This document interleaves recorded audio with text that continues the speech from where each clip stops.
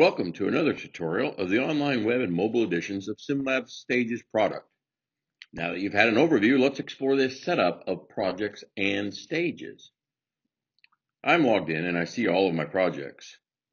Here at the bottom on the left side is where you can add a new project by clicking on the plus icon at the bottom of the page. We'll name our new project Test Project. Great wisdom, I know. We can give it a, a description, upload an image for the project page now or later. Then we click confirm to save our test project. Now if we go back to our projects page, we have a new project named, believe it or not, test.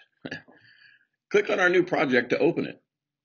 Click the stages list icon and you will see our project is empty. We need to create our first stage. Click the plus icon at the bottom of the stage list. We will name our first stage in Infinite Wisdom, Stage 1. Let's select March 1st, as that was the date of that scan. Click Confirm to save the stage.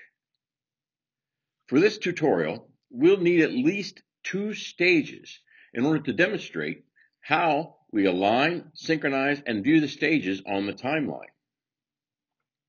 Now I can click on a stage in the list of stages and see it is empty. Time to add our components. In our current version of our web and mobile solution, we are able to load only Matterport 360 Showcase scans as components. You can retrieve the link of the scan you want to use from your Matterport Spaces account. Give the component any name you wish and paste the link in the Matterport link space. Press confirm as before to save your work of this stage.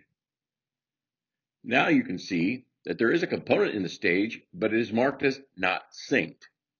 If you click the three buttons next to the not synced indication, you're available to rename or delete the component from here.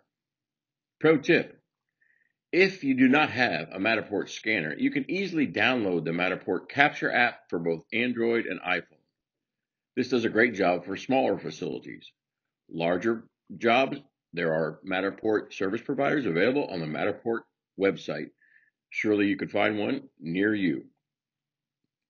Okay, so now you can see in our new project we have two stages, each having a component. In the next tutorial, we will align or synchronize stage components.